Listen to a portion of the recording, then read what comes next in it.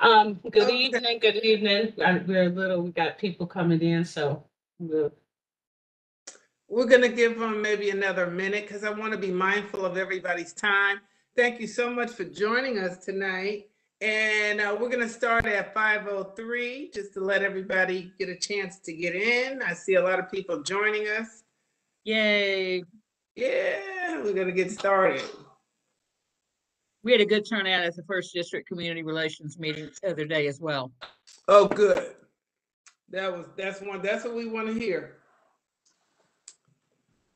Okay, it's five oh three and we're going to start our meeting now. And I just want to welcome everybody to the CPOP meeting.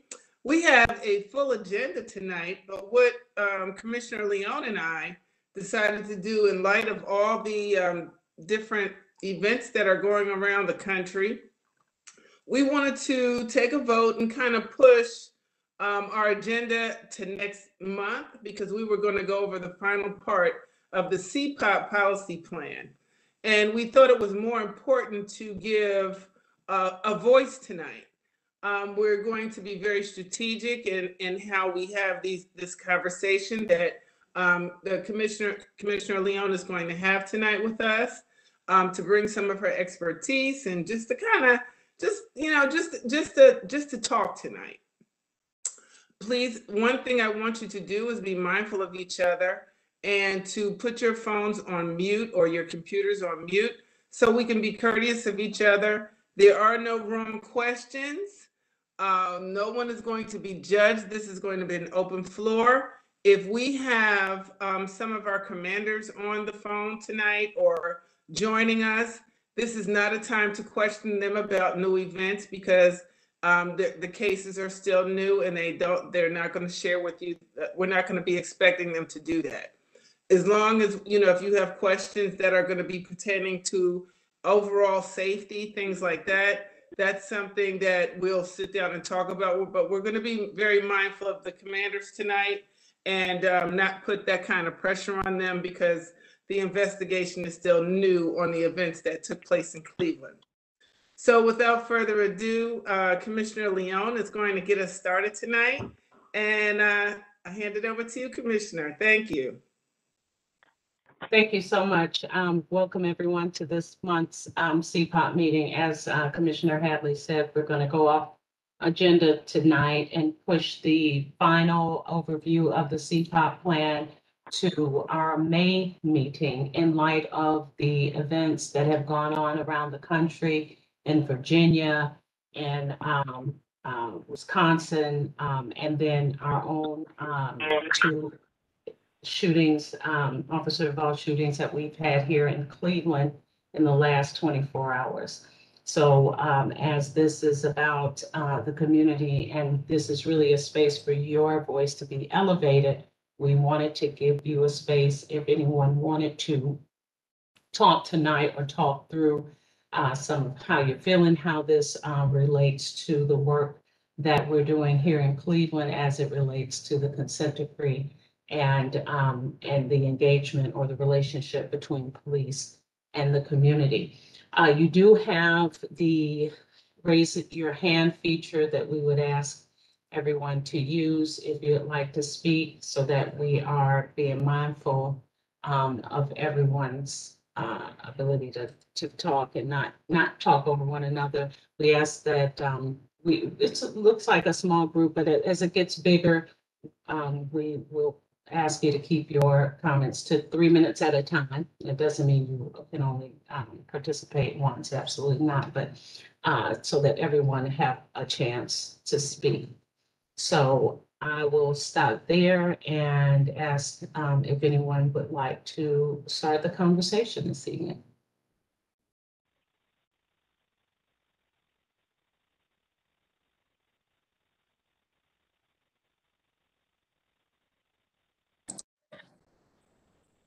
Well, Commissioner Leon and Commissioner Hatley. Hi, everyone. I'm Shalina Williams. Um, I am the Community Engagement uh, Coordinator for the Cleveland Police Commission. Um, we were having a conversation, and I've been having conversation um, all this weekend and this week uh, with uh, community members who are concerned and upset, as we all are, Um, what keeps coming up, especially with the, um, the case, um, Daunte, Daunte, I believe his name is Daunte, um, with his case is, again, how, how does a 26-year, you know, veteran on the police force mistake uh, the Daunte Wright, thank you, um, mistake the taser, um, the gun for the taser. And that's, this is not the first time that it's happened. Um, it is indeed a concern because officers carry both weapons uh, at all times. My concern is moving forward, again, how can we ensure that this mistake doesn't continue to happen?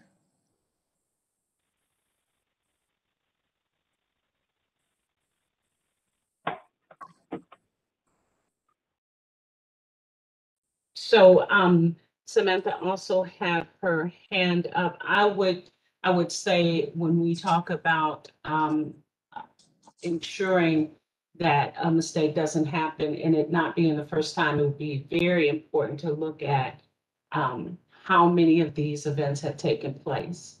Uh, when you think, when you look at the number of engagements that police have on a daily basis, how often in that does it happen and, and what have been the outcomes of them? Um, we know that mistakes will happen. I think what the community is most um, upset about and what you have, have, uh, mentioned is the, um, how often it happens, right?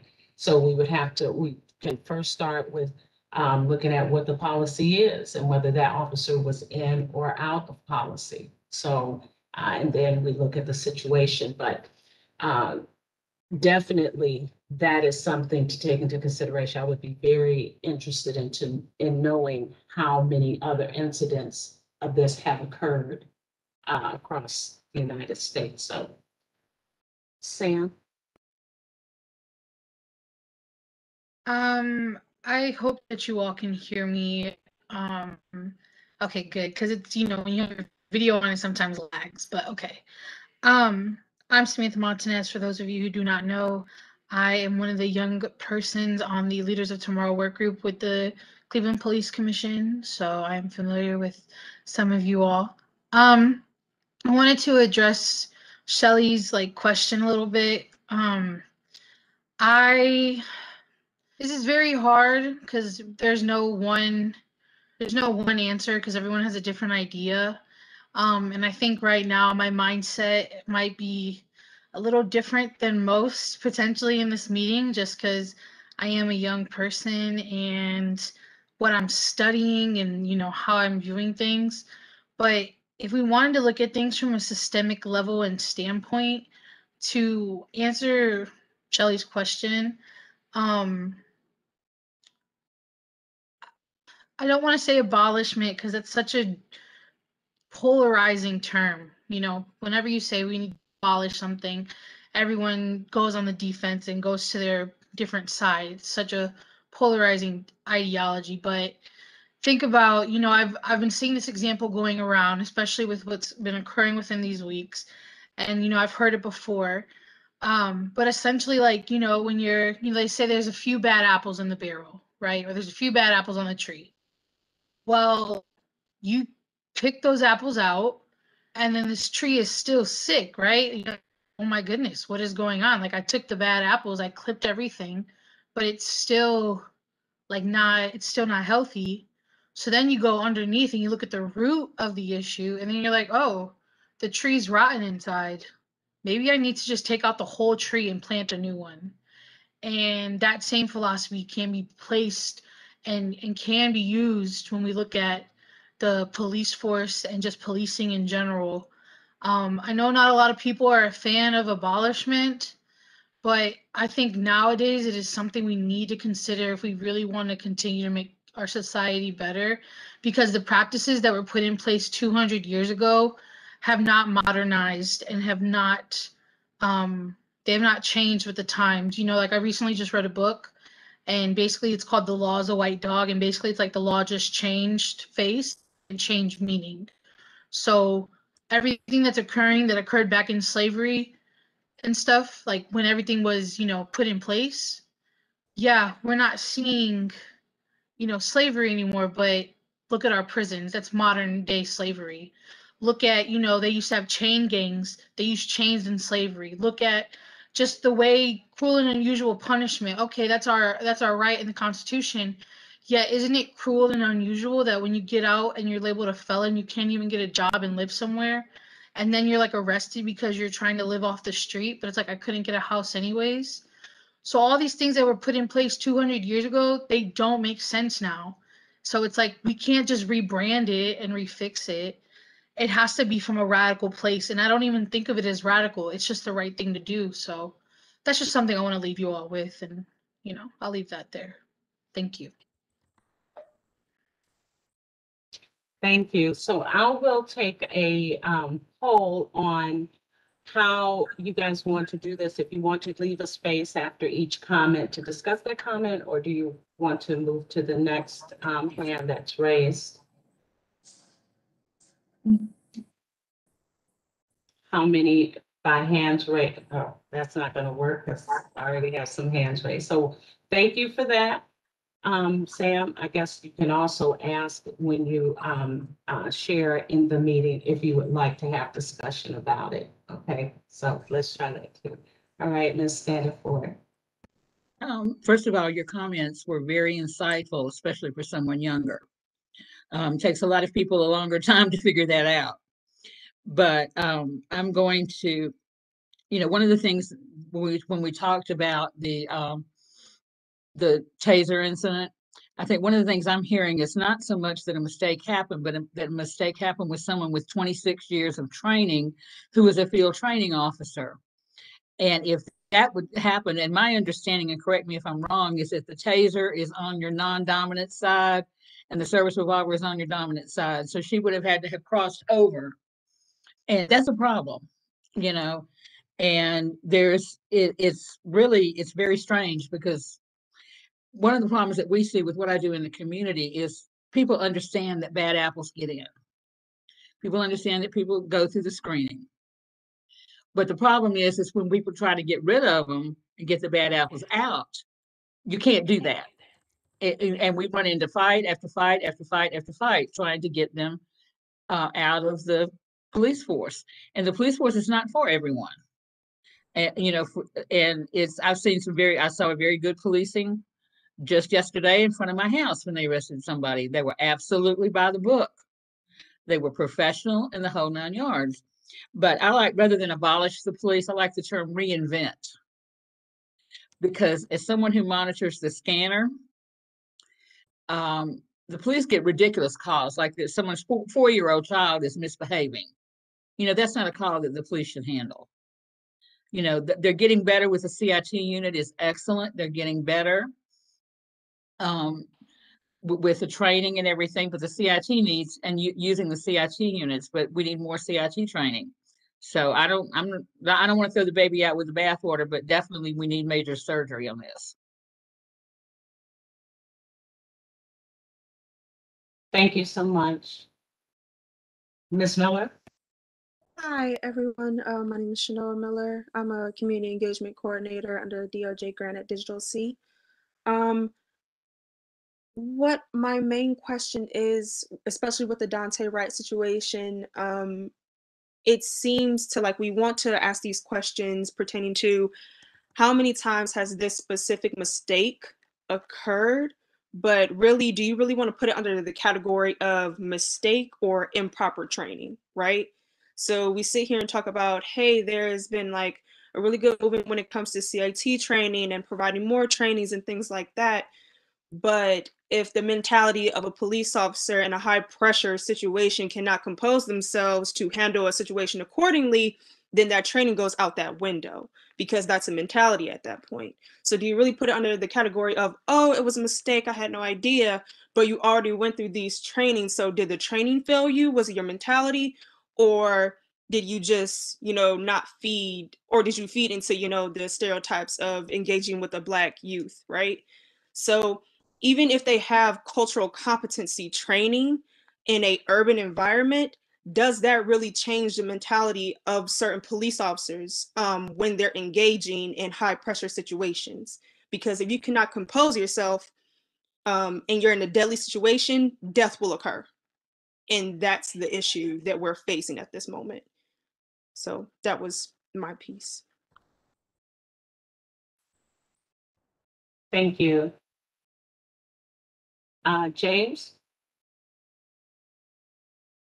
Hi, sorry, I was trying to turn my camera on, but I'm having issues right now. Um, I had a follow-up to Samantha's comment and then just a, a quick reference to something I saw recently. Um, when, when she mentioned the abolishment, uh, it's definitely an interesting thought and something I wanted to uh, give a, uh, maybe not a com- comparative look, but a complementary review is the English common law. A lot of our legal system is, is backed on. Um, something I've been investigating recently. You know, should that that needs to be reviewed and possibly changed as well.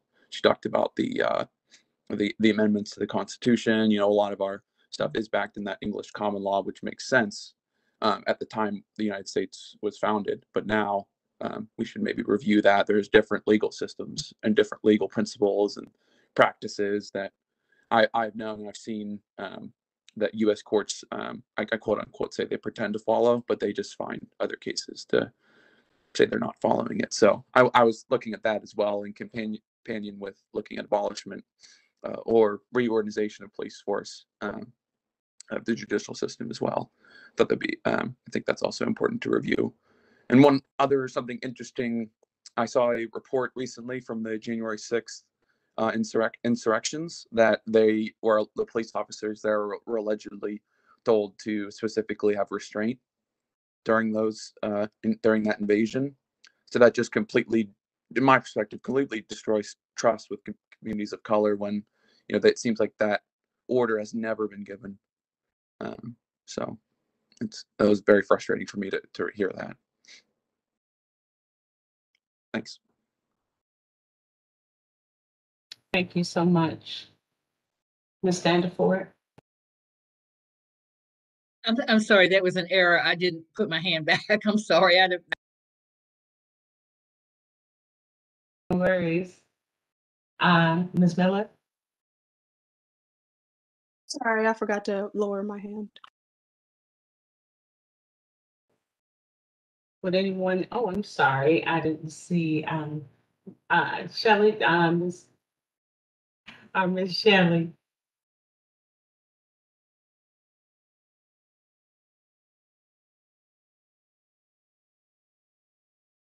You're still muted unless I'm, it's me. Sorry about that. And so um, my, my comment or question was um, in reference to what Samantha was saying about the bad apples. Um, I put it in the chat, you know, we do have bad apples and across the nation, you know, each police department is stating that, you know, if there are a few bad apples spoiling the whole bunch. Well, my question is, you know, where are the good apples? Where are the officers who are standing with your brother? Shouldn't they be saying that's, that's not right? You know, you need to stand down. There's a better way to handle this. Where are the good apples if we only have a few bad apples? Because they are ruining, they are ruining the name of policing. They need to stand up. What happens when they do? Are they ostracized? Do they lose their jobs? What happens to an officer when he or she decides to stand up against what they see is going on wrong? Because clearly, with the George uh, Floyd case, there was not just the man, the officer with uh, his knee on the neck. There were several other officers standing there, and they said nothing. They did nothing. Where are the good officers or the good apples?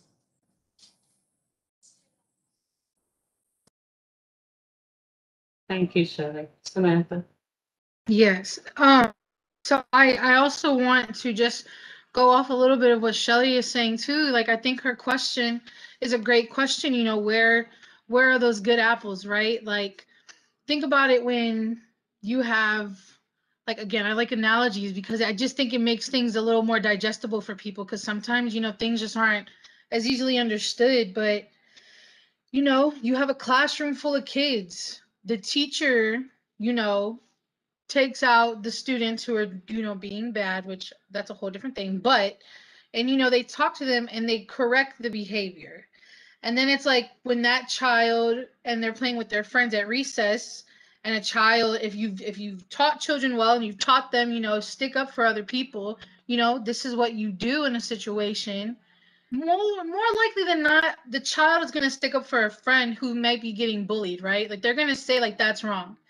If a child who is in the fifth grade fourth grade third grade second grade kindergarten if a child who hasn't even reached their developmental peak yet can understand you know sticking up for someone because so, someone's doing something bad to them if a child can understand that, I fully believe an adult whose prefrontal cortex is almost developed or is fully developed should be able to do the same thing. Um, so and and another thing to Shelly's point is that you asked where do they go? They do lose their jobs. They do get ostracized. They do essentially get, you know, um they get put on, you know, like that that list, like, oh, don't go to this guy because he stands up for what's right. Well, yeah, that's why he. I thought that's why he signed up to be an officer. Like I thought that's why you all did. Um, so there's definitely that stigmatization and isolation within police culture that happens within you know the police communities.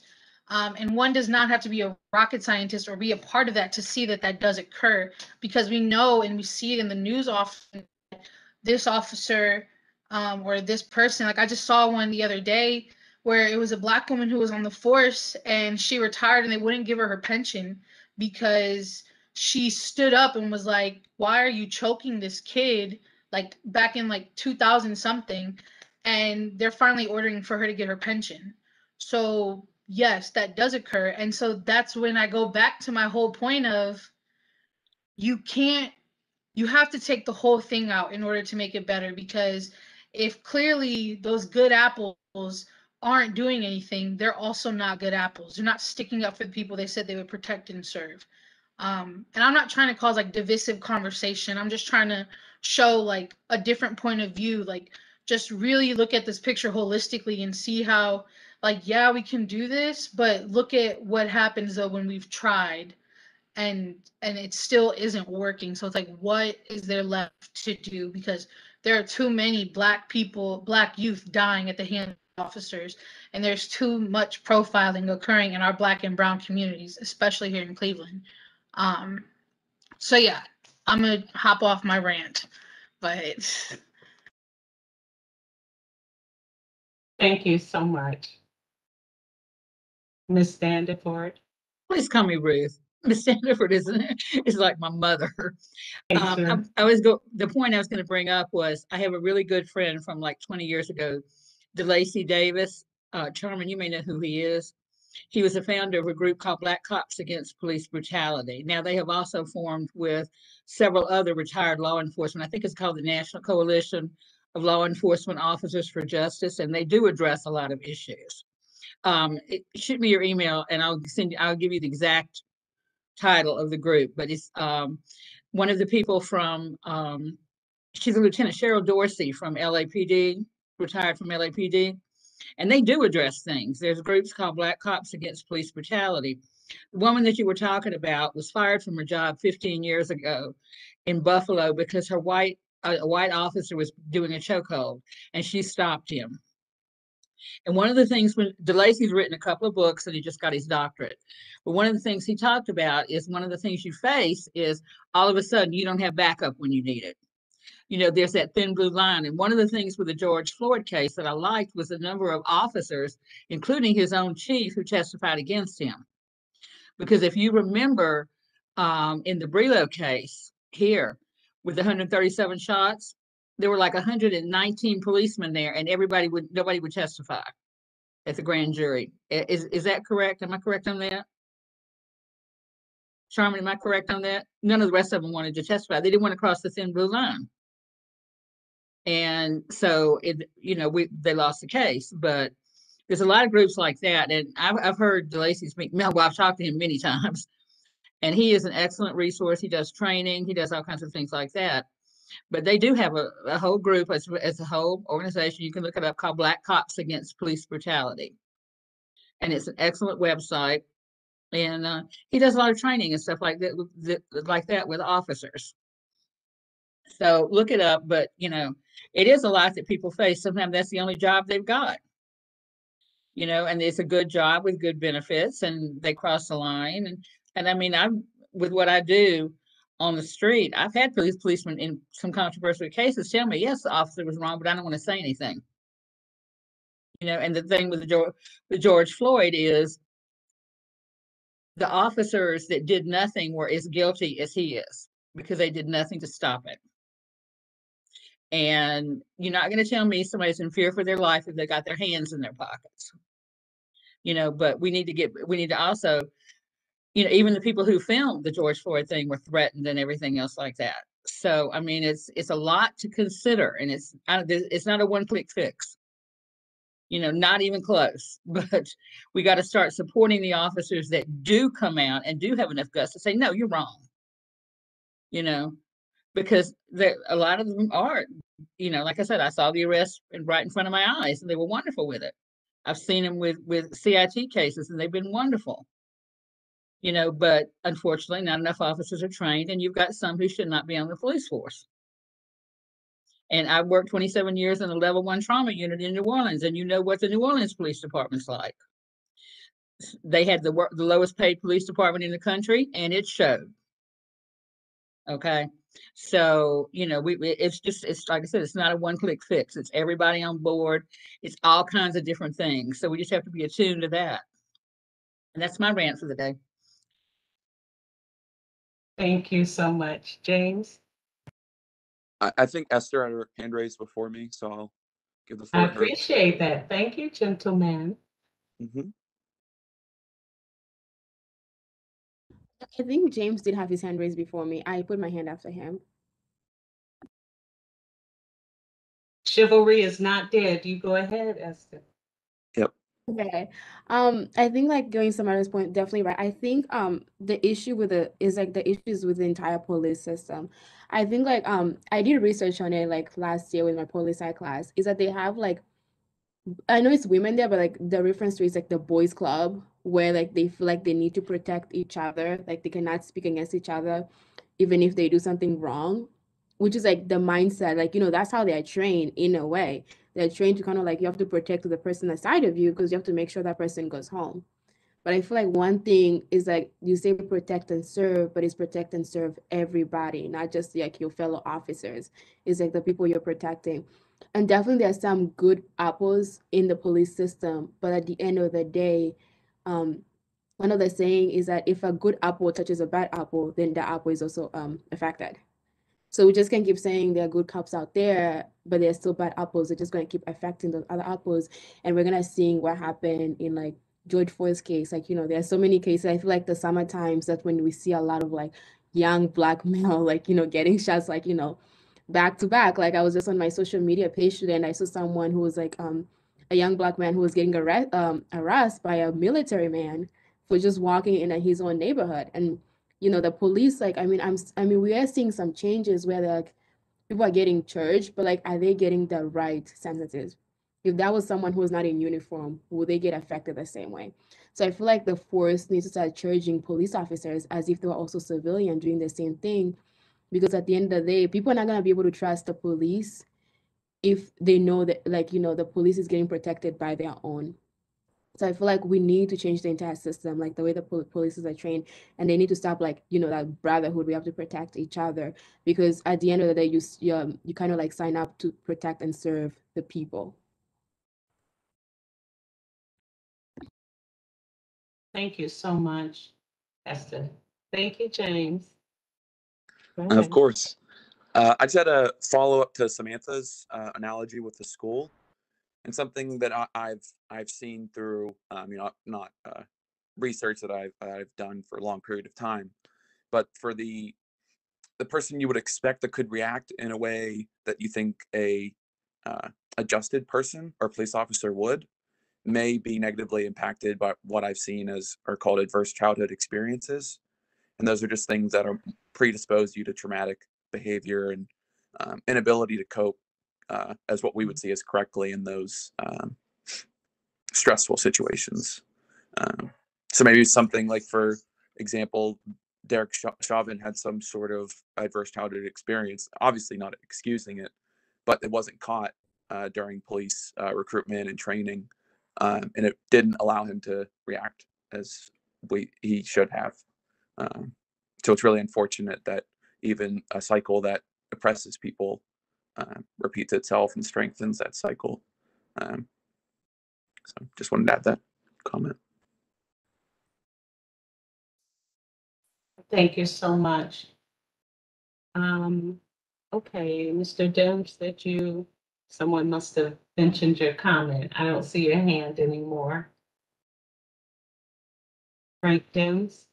Yeah, sorry. I, uh, yeah, I took my hand down. I was, I was actually um, going to mention that um, in, in some of the training and, and conferences I've been to, I've seen um, a lot of uh, opportunities that police are presented with uh, in de-escalation training, where in that de-escalation training, if, if one officer on a team sees another officer uh, getting ready to lose his good government job, they have a mechanism to talk to each other and uh, remove that officer from the scene and keep them from making mistakes. But you need buy-in from the whole department.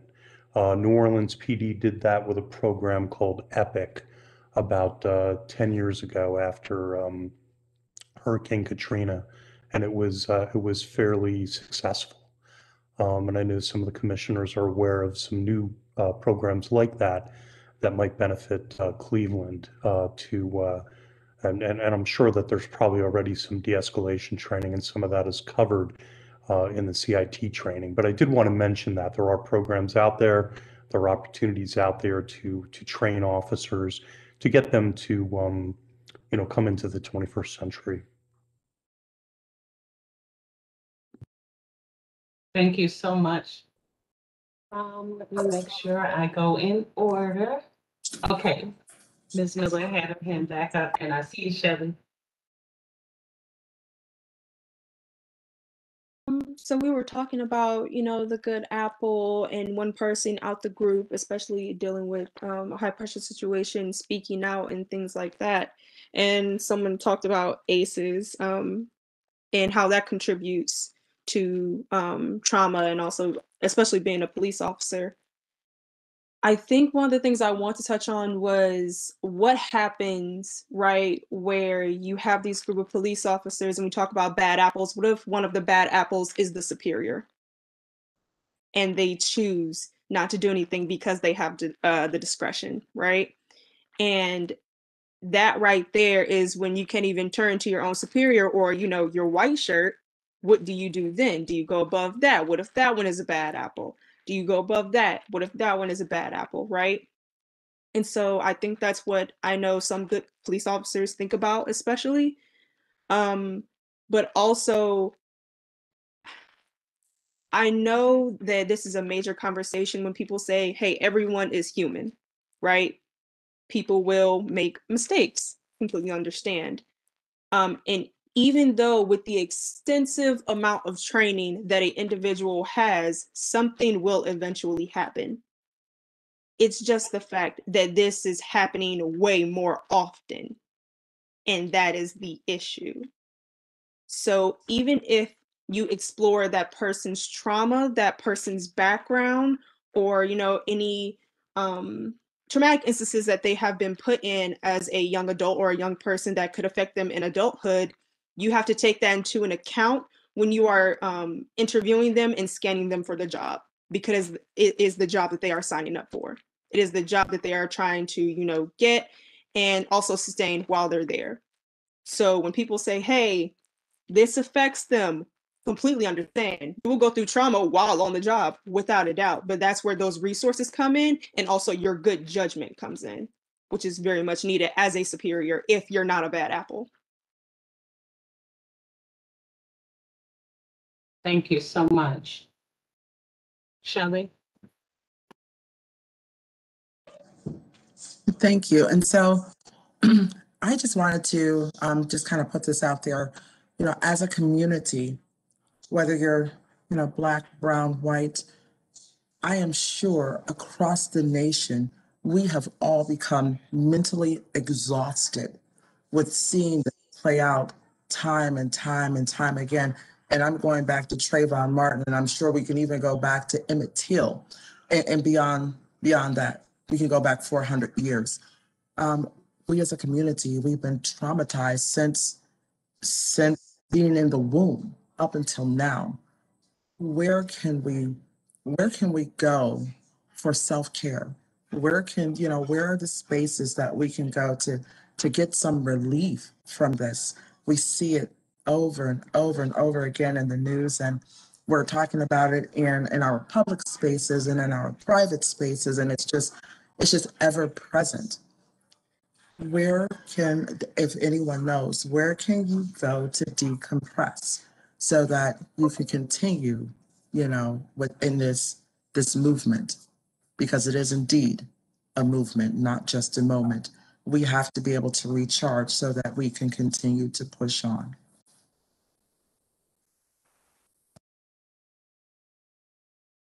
Thank you for that. Um, we have a question in the chat or a statement in the chat for discussion. Um, everyone, please remember, uh, feedback on what, uh, Shelley, uh, just raised. From Larry Heller, an unrelated question, new topic. So why don't, why don't we see if anyone wants to, um, give a response to, uh, Shelley's um, question or ask about where people go to decompress. For those of us experiencing trauma and, and for this, I will, because it's very important. Now, this is one of the reasons why we pushed our um, regular agenda to next month because we knew people needed a space and um, to talk about these things that are going on. And sometimes um, this may be the platform where they can do that. So you can unmute yourself if you would like and um, kind of respond to that um, question of- regarding where people go for assistance and decompressing and trauma. Hi, hello. Hello? Hi, I'm on the phone. So I'm um my name is Ashley Evans and it's a little bit different interacting here on the phone. Um I do want to offer um a couple ideas at least. Um I'm very adamant in trying to find spaces to decompress and to heal within our own neighborhoods. Um, I live in the Buckeye Shaker neighborhood in Cleveland, and um, I personally take solace in uh, the people that I've connected with here. Um, so it- it's been pretty hard, I'd have to say, since COVID. Um, there's not um, as many activities to actually gather, um, but I just challenge us to be creative in trying to find uh, the good in the places and the people that we have closest to us.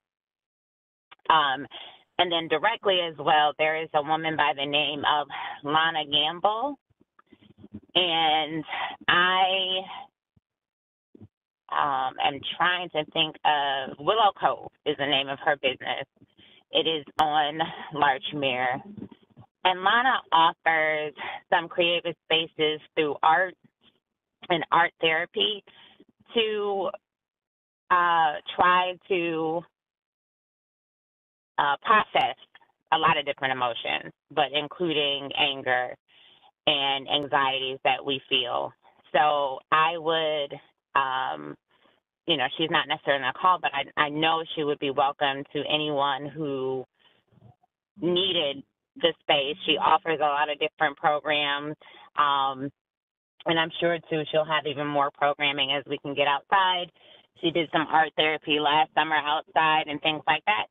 So if you um, you can find her online on Instagram or Facebook. The name of the business again is Willow Cove, and um, I, I, there are great resources there. Thank you. Thank you so much for that. And I see Shelley writing fervently, so I know we will have that.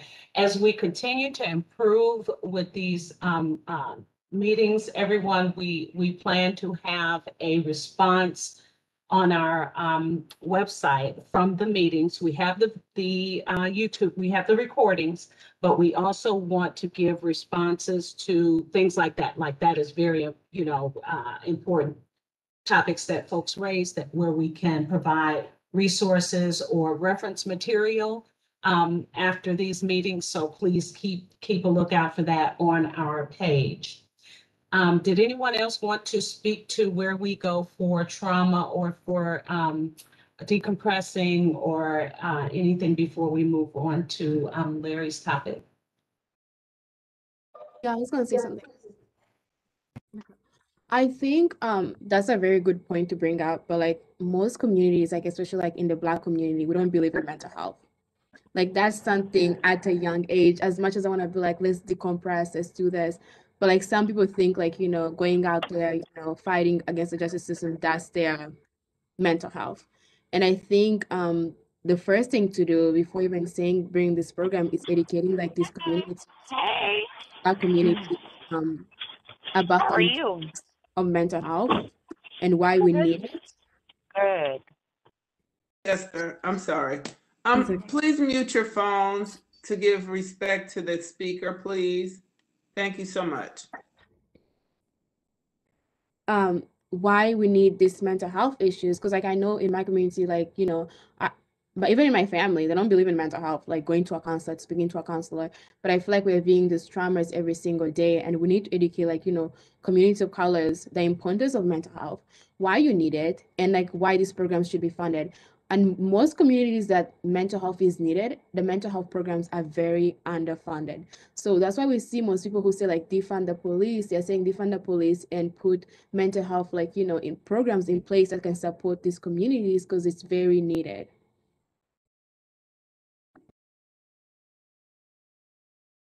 Thank you so much. This is, you know, you guys, every topic you built, you've brought up has to do with reform, transformation, reimagining. It's, it's always that the community really does have the answers. You really have to listen, right? And so, um, um, yeah, I just wanted to, to elevate that. Larry? Hi, this is Larry.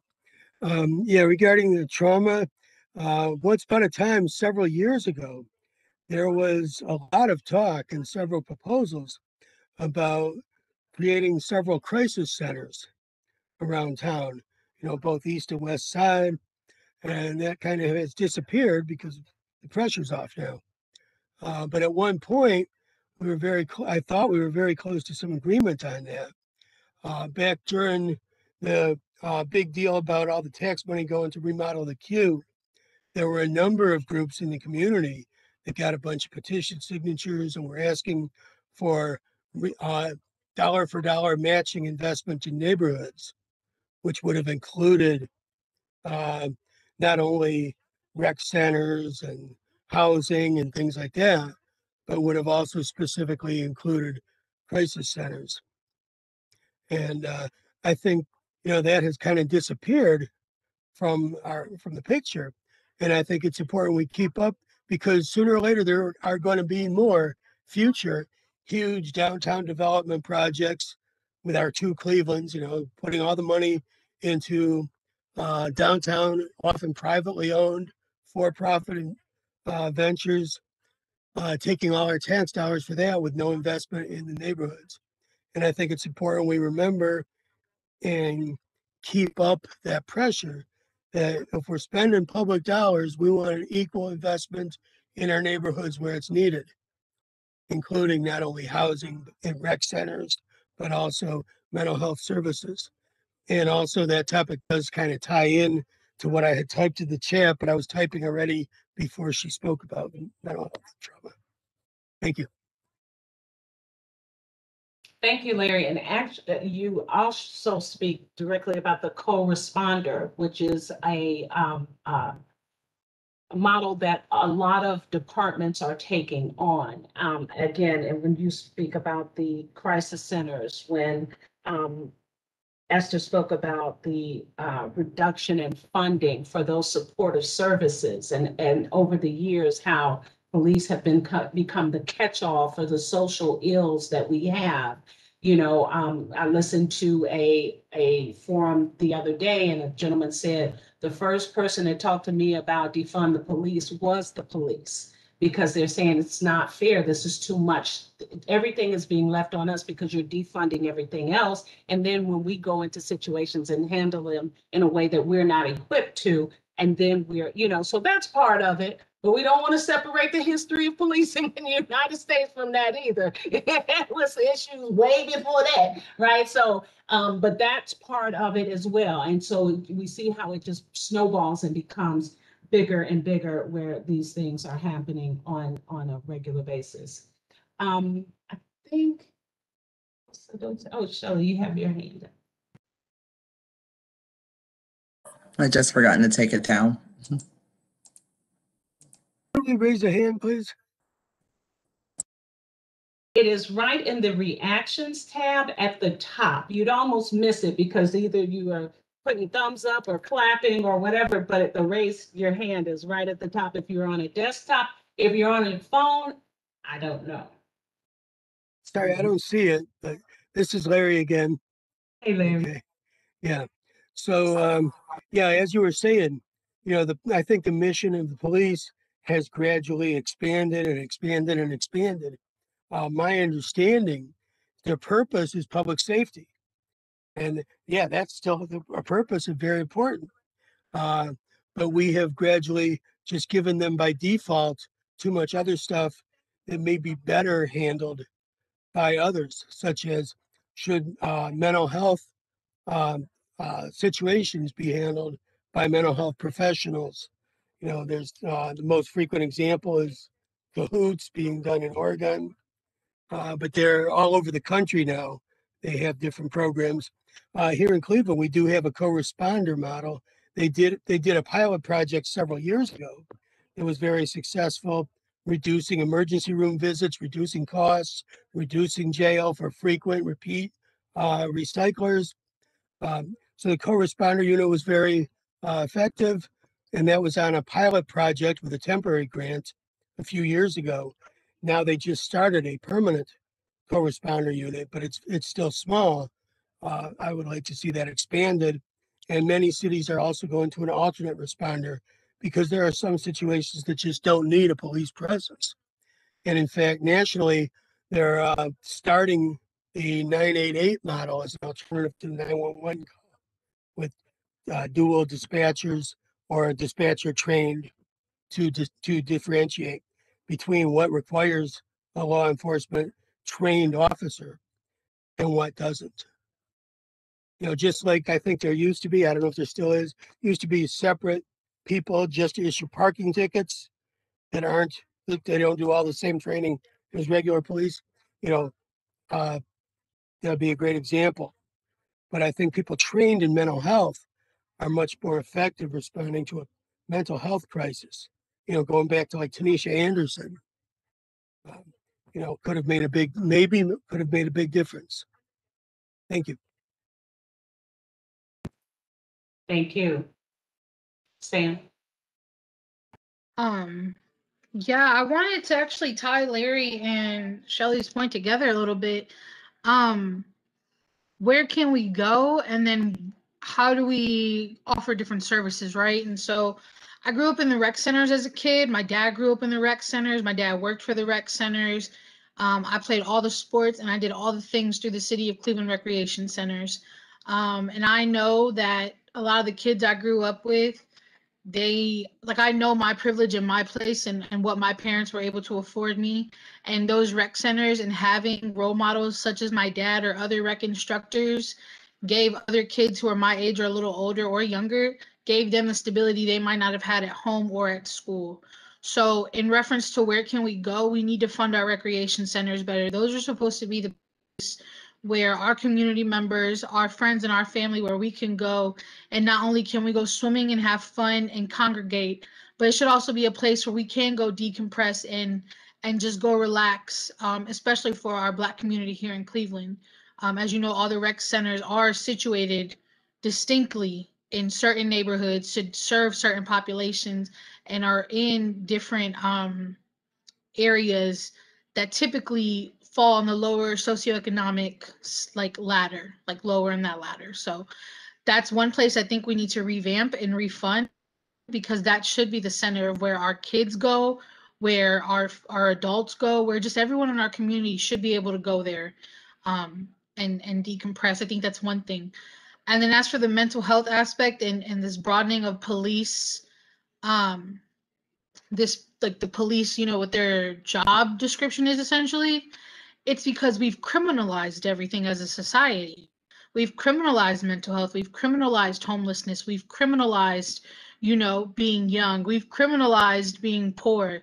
So everything that goes on in this world that you get arrested for, that you get detained for, it's been criminalized. Like that is why the police have to handle that because our legislatures, our politicians, our city leaders, our federal government, you know, this a lot of it has happened since the dawn of time, but especially you know with that pickup in the 70s and the 80s, there was that fear um, that politicians use, and it's still used today, like tough on crime. And who did they show that was you know committing crime? Black and brown people.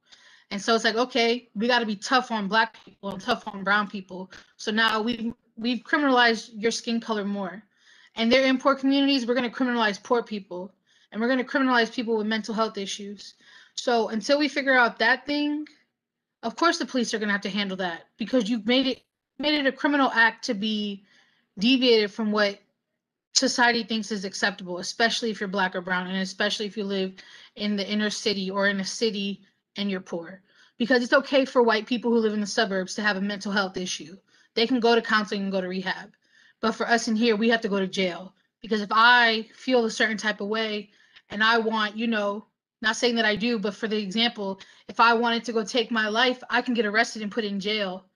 But the white girl in the suburb potentially could she gets the help she needs. So it's all about who's criminalized for what and what is being criminalized. And that's why officers have to handle these calls because everything, even existing, is illegal nowadays. So that's just something else to think. Well, that's a lot, but it's right on point. It's right on point. Again, like I said, the community always has the answers and you go right there, right? And what our solution, we know what you highlighted even more of the problems, especially when you say criminalizing everything, all our social ills and how that then is the skin color, right? And we knew that behind the way that we um, uh, handled the crack epidemic and how we handled the opioid epidemic. That's another trauma for Black uh, and brown and marginalized communities because where those folks were criminalized for their addictions and dismantled communities, you know, we are actually being asked or to, directed to bring people back to life. Not, and oftentimes it's not just once a day, it's two and three times a day. That's a trauma for the Black community. And when you mention those rec centers, I just want to um, highlight um, that the rec centers got additional funding for training of their staff regarding trauma and, and were rebranded as neighborhood resource and rec centers right at the end of 2019. And of course, we know we had 2020 happen with the pandemic and all, but you know, um, time that it takes for things to change oftentimes gets a bad rap. That's what um, uh, the boss, my um, co-founder of the Center for Policing Equity just uh, mentioned the other day. It does take time, but as the community voices continue to be elevated and say, we know what the issues are, here's what we believe are the um, part of the remedies. And since you guys work for us, that's where we say that these resources are gonna go, and that's what we want it to look like. So thank you for that. Ruth?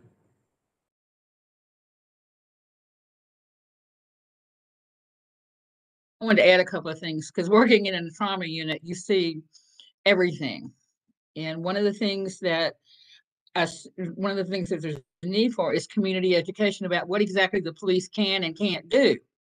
I've seen, uh, you know, we monitor the scanner as part of um, what I do.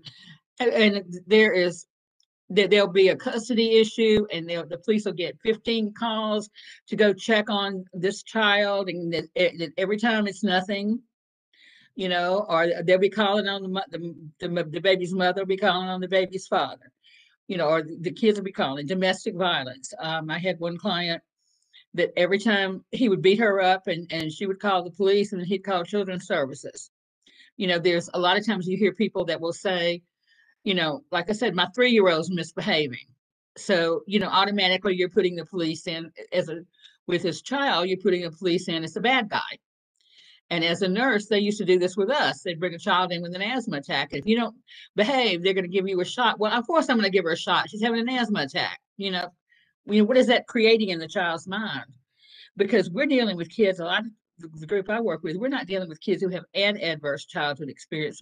We're dealing with kids who are 24 7 adverse childhood experiences. I've told this before. We were doing group one day, and I asked, we had 94 people in the group, and I asked how many of them knew somebody who'd been killed. 100% of the, are a victim of violence, 100% of the hands went up. Uh, Some, about more than half of them were related to somebody. You know, our kids, we had two kids that there was a police chase, not Cleveland, it was OSP going down Kinsman one day. And we look up and two of our kids are headed to the store down at Tanini's. And we yelled at them to get back and they got upset. And one of them came to me and said, could we talk about this? And I said, yes. And I said, did you see the police cars going down the street? He said, yes. He said, but they were in the street. I said, do you know that during police chases, they will turn around, run up on the sidewalk and they really don't care if you're standing there? They said, no, you know, and so you have to be able to have places they can talk. I'm sorry about my phone, but it's the other side of creation. I can't get to it right now. Stop. There you go. And I apologize for that. But uh, we did a thing a couple of times called painting with the police and the and the safety forces. And we had the police from community relations and some of them from the fourth come in and they paired with the kids to do painting projects because it was a less threatening environment in the middle of a crime scene and it you know we really wrote down some of the scenes and talked to we, we do things sometimes there's a high profile scene we'll talk to the kids about what happened about you know not making stupid moves like if your hands up turn around and grab and go for your belt you know things like that. But with the officers too and i saw this in the emergency room they would automatically assume i mean we had one doctor come in who was black and they assumed he was trouble and we're like no he's in charge. He's not you know he's not he's not a criminal. He's in charge of the emergency room. You know and they it's just it's got it's got to be education like i said it's not a one-click fix. You know the, the kids need a, a safe place to talk. And as we talked to our kids one day and they said talk to us talk with us don't talk at us and so often that's what people are doing now is they are talking at you you know we have somebody come in at summer camp every year Kyle Walton, before he retired from the ATF, came in and did a wonderful thing with our kids explaining things. And he talked a lot. He said, I'm a black male. He said, if I go out of town, and he talked about how he behaved. And he said, I am a federal agent and how I behave. The kids were like, you know, he gave a scenario about, you know, one of the kids, you're driving in the car and somebody does something stupid and gets pulled over. The officer's walking up to you, sees a gun on the floor. Who's going to go to jail? And they're like, oh, the driver. And they're like, no, y'all all going till we figure out whose gun it is. You know, so they were able to dialogue, and that's what we need more of. The kids were able to dialogue, and they were not, only able to dialogue with an officer, but one who looked like them. And that's crucially important because you can't steer the ship if you don't get in the boat. You know, and it is hard. I mean, you know, I've seen very, very good police officers and I've seen very bad ones. When I was in New Orleans, we had an awful shooting where, where they gunned down a 90 pound woman in a bathtub after an officer was killed. And, and the, the well, she was a threat to my life. I said, You're 180 pounds, she's 90 pounds soaking wet in the bathtub. Come on, you know? But uh, and we ended up putting them in jail actually, but a lot of research and a lot of work. We got federal charges on them, but that's another story. But anyway, like I said, it's not a one quick fix. And everybody's got some very valid points, you know, so hopefully we can put them into play into practice. And that's my rant. Thank you. It's all contributions and input, not rants, because there always is gold nugget in everything. Okay, so, um, that was Ms. Rose. Where are we? Are we at Shelley or? Yeah, definitely go. I want to kind of piggyback on what Ms. Ruth was saying um, about how how especially in communities of color, we are training our um, our children, and in, in particular our Black male youth, uh, how to interact or engage with the police. I, I personally, personally hate that we have to train our children away in a way to engage with police officers. I do understand that it is to preserve their lives, but it should never be so. Um, and even I think there was a there there's a, another case out where um, a military officer uh, uh, was engaging with officers and you know exercised that training, put his hands out the window to let them know that you know, hey, I I don't have anything. I'm not a threat. I'm even afraid of you. And they were still yelling, you know, obscenities at him. And so even when we, you know, again, exercise this training, we are still at fault. Um, the young man, Daunte Wright, you know, uh, there was another another woman um, in Texas who I believe she, you know, she she was doing nothing, and the officer wanted to put her in handcuffs, and she refused. She she told him, you know, I've done nothing. Don't put me in handcuffs, and began to run away, and you know, as a result, her life was ended. And so um, back to to a point that I was trying to make earlier, um, a friend and I we were talking, and he said that Daunte Miller made his mistake in running. Well, we all know that we're guilty whether we run or not, and most often we'll take our chances with running. And so um, I just think that um, there there there definitely has to be you know, some conversation or training around, um, again, on the officer's part, how to engage with us, you know, how to engage with especially our youth, because we are afraid. We are afraid and we we exhibit that behavior through, you know, trying to preserve our lives and, and running away or or even in being compliant and and still losing our lives. Something has to something has to change something has to change. That's my comment, my rant. Thank you so much. A couple of things I want to um, highlight. Um, when you spoke about um, we're guilty whether we run or not, you know, that's what I've heard when I was doing the um, going around the community with recruitment. It's, you know, why do you run? Um, you know, because you know you can be, you can, you'll, you'll catch a charge whether you're you're guilty or not, right? Um, so you don't have to be guilty of a crime to be convicted of one, is what they said. And so, like you just said, I'll take my chances running because, as we see, the most people who are exonerated um, of being wrongfully convicted are people of color. So there's that. Um, when you said for the police to learn how to engage with the community, um, a few years ago, they started the reverse ride along community engagement day for that very reason for recruits to take them into the community and be educated by folks in the community about the history of uh, the relationship of the community and the police here in Cleveland, and also to see that uh, most of our citizens are law-abiding citizens. Don't come out here with a mindset that you're on a hunt or you're, you know, because um, again, that affects the way that you engage with the community. And finally, when we talk about de-escalation, I just want you guys to, uh, I want us to direct you to a training by Don McCrae called non-escalation. And we saw that oftentimes it's not the citizen, but it's often the officer that escalates the issue. So de-escalation doesn't work if you're the one escalating it. So it's about not, not necessarily de-escalation, but how to teach um, uh, officers how not to escalate to begin with and make the situation work. Okay, Ms. Moore. Thank you so much. Um, good evening, everyone.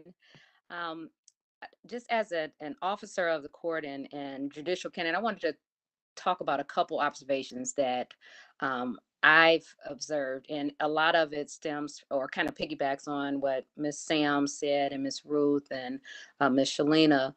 Um, years ago, at, at least in the city of Cleveland, there was a requirement that you had to live in the city in order to work in the city. And one of the things that I think is a huge problem is a lot of the officers have no connection to the city. And when you don't have a connection to the city, you don't know the kids, you're not familiar with the neighborhood, you don't you don't know the kids, the kids don't know you, right? And when they don't know you, um, it's very easy for you to view them as a threat. Um, I, when I was younger, we had a neighborhood so everyone pretty much knew whose kid belonged to who and you know you could have that conversation with the kid and say okay you're you're acting this way but it was it was done out of love and i think um maybe and i know you can't require because of the the, the lawsuit that allowed people to move out of the city to when they're working in the city. But if you had some type of incentives for bringing police officers back into the city, where these, you know, the kids and even the adults, they're your neighbors, you know, so you're you're living with them, you're shopping with them, you know, you're you're entertaining with them. You get to know people like that. And that way, you won't even have to worry. I don't think uh, as much about you know de-escalating or non-escalating because you know each other and they don't have to feel as concerned because one of the things that I talk to people about is okay, you know, behave this particular way. And a lot of the young people say, whether we do that or not, just like Miss Shalina said, whether we do that or not, you know, we're still getting beat up or, you know, whatever, because there is this inherent fear of young, particularly young Black boys.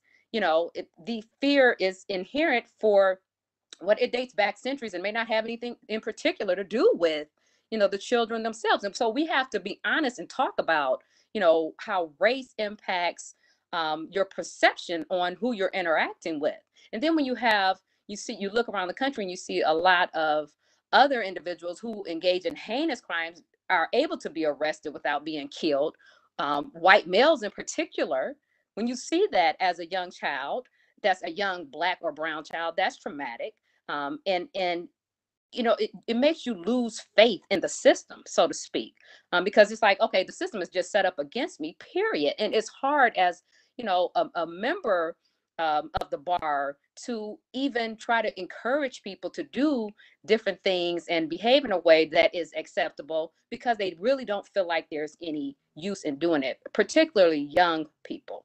And then on top of that, what we have to be very realistic about is this pipeline of prison in terms of the school. We have to get back to basic education um, and making sure that everyone knows that you know just because a child misbehaves doesn't mean that they're a bad child and start messing up their record and making sure that that record follows them such that other teachers in the future who comes into contact with them they already have a perception and then you know this kid is getting suspended and expelled and what do you think the children are going to do if they're suspended and expelled and don't have anywhere to go don't have anything you know constructive don't have any type of guidance they're going to get in trouble. So what have you done? You've, you know, pretty much pushed them out of school and pretty much set them up to get involved in the criminal justice system. And that's wrong. And We have to really talk about what's going on in terms of education wise with, you know, our schools and whatnot. So I'm not going to go on and on, but there are so many different factors. And I think part of our problem is we're working in silos as opposed to saying,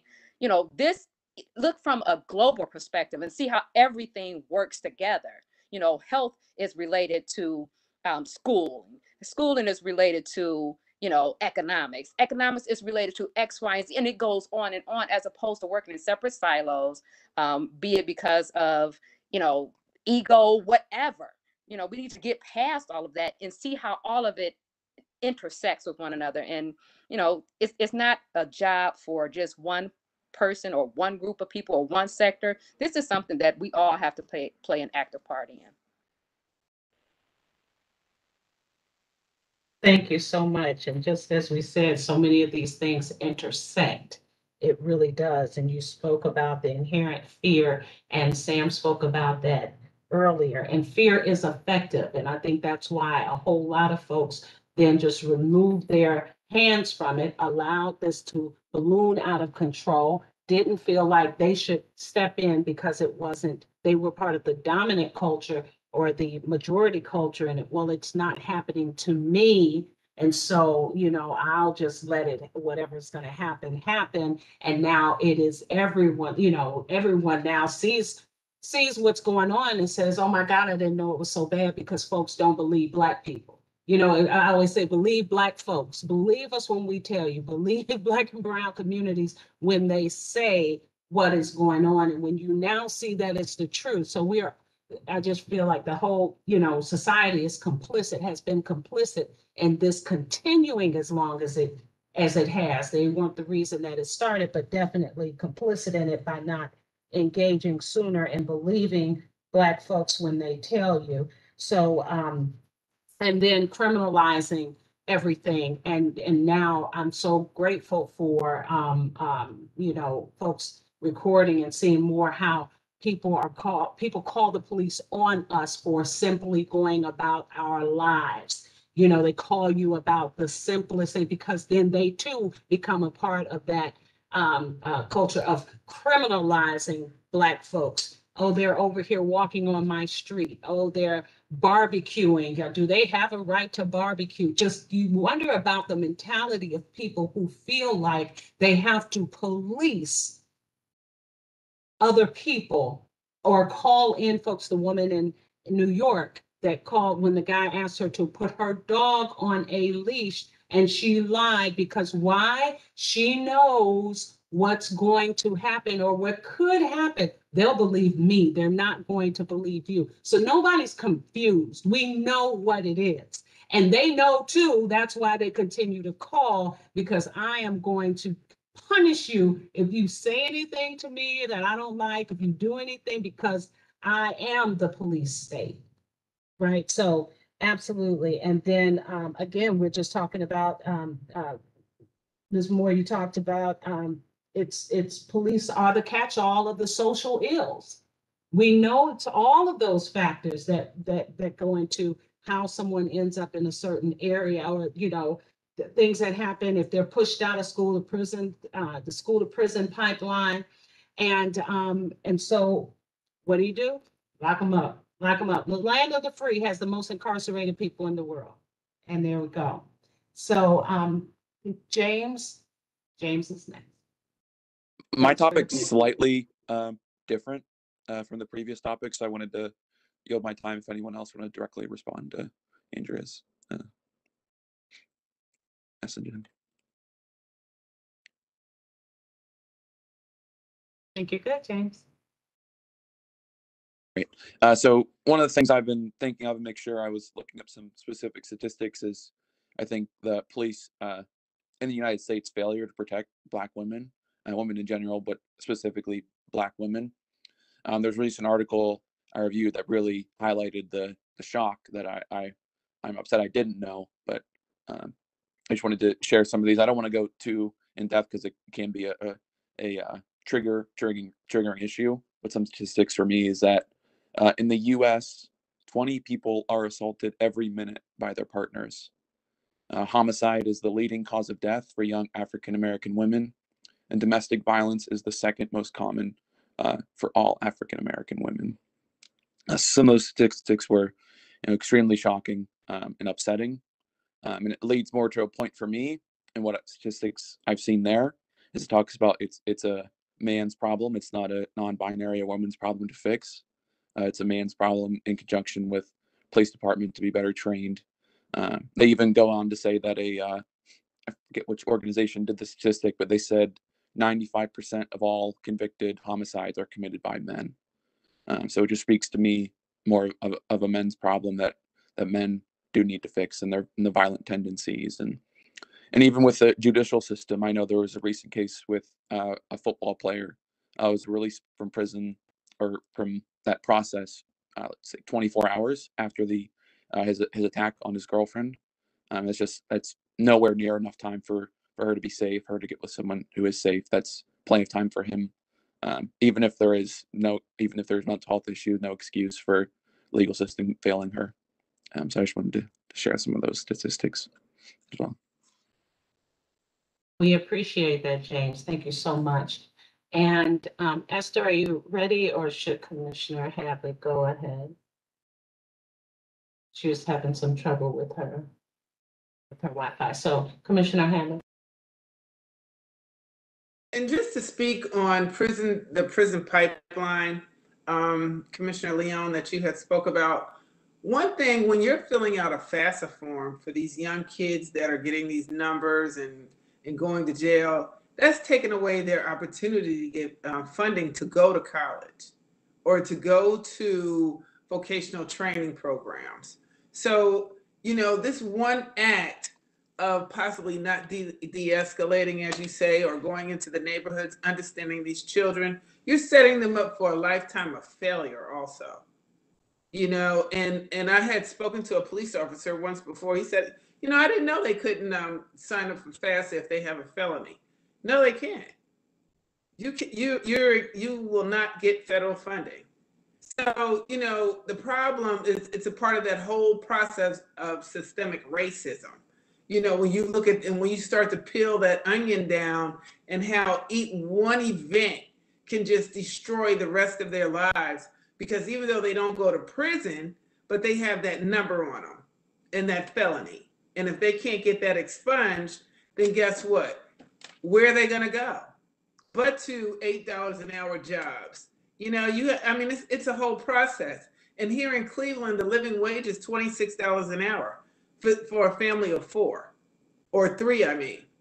So if you're not making that amount of money, you are you're never going to get out. It's just it's that that that mouse on the wheel. You're you're it's a continuous cycle.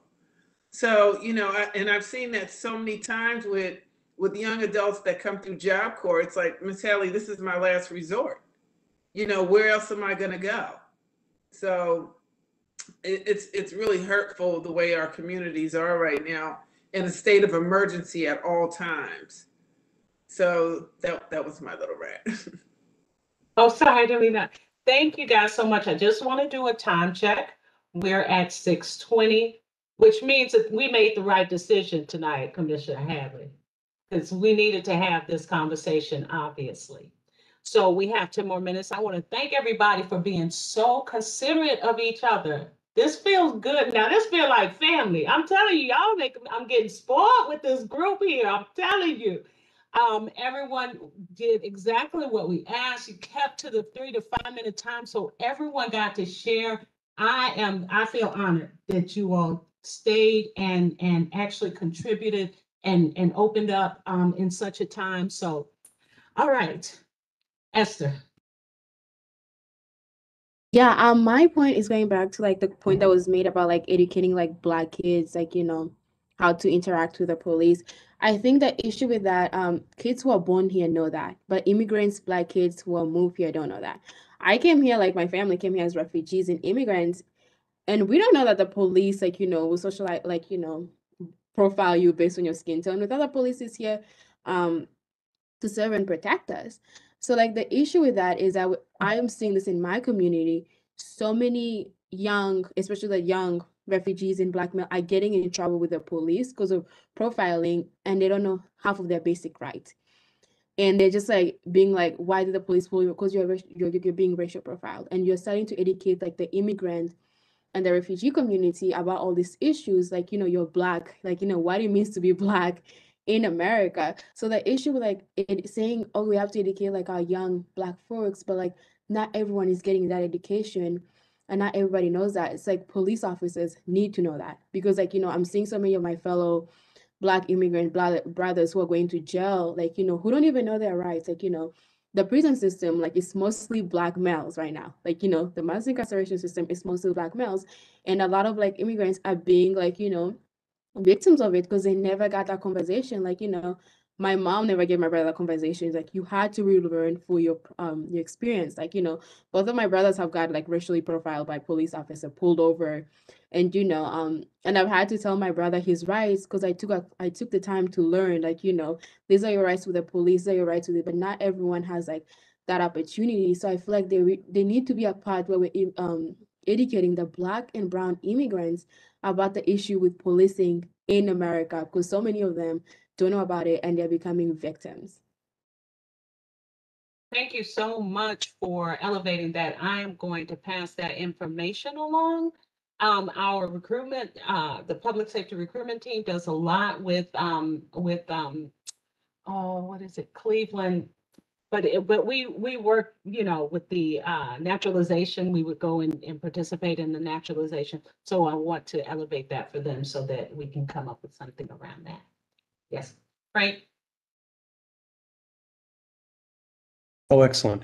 Thanks. Um, so I, I I work at uh, Case Western Reserve University, and uh, we have a, a sort of hybrid um, public safety department that has a lot of security officers.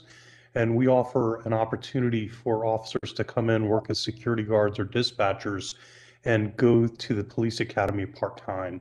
And we'll pay for half of that academy for for the people that go through. It doesn't guarantee them a job as a as a police officer here but it will get them the credential so that they can go to any agency uh, within Ohio because the Ohio, uh, as we know, historically Ohio, um, you know, public safety uh, uh, training is, is it's tough to get through and it's expensive and a lot of people don't have that that startup cash.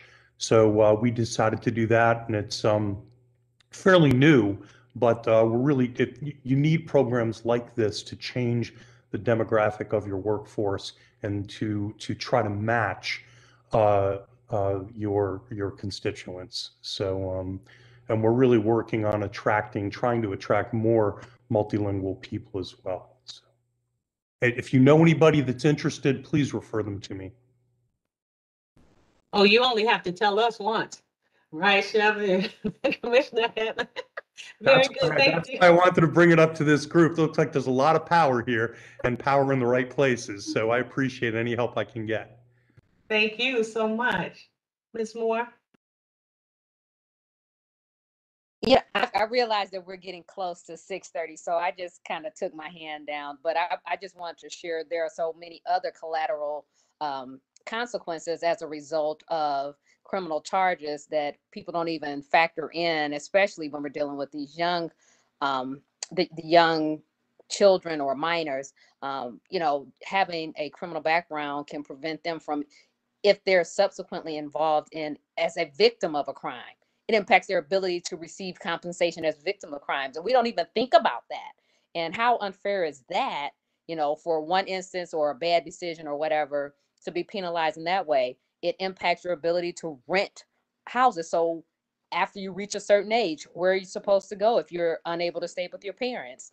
Um, they can't go into the military for certain crimes and the way that the legislator has drafted some of these some things are simply not eligible to even be sealed or even be you know expunged. And so again we're setting our kids up for for failure before they even have an opportunity to even start good. So these are some of the things i think you know i think it's important again with me being in a political field it's really important that we stay on top of our legislators and start locally and work our way up to the state and then federal. A lot of times we focus on the federal but we need to come back to the basics because i as far as i'm concerned all politics are local so that's where I think, you know, it would be uh, helpful because we can put it all on the police if we want to, but it, it doesn't make a difference if we don't follow or stay on top of who our executives are that are appointing, you know, the the directors of public safety and the police chief and you know things of that nature. So I think it's it's inherent in, in